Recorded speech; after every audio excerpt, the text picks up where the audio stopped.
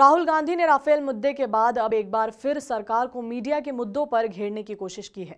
कांग्रेस अध्यक्ष राहुल गांधी ने मीडिया कारोबारी राघव बहल के घर व उनके online news portal the Quint के दफ्तर पर आयकर विभाग की छापेमारी को लेकर कहा कि सरकार मीडिया पर दबाव बनाने की कोशिश कर रही है।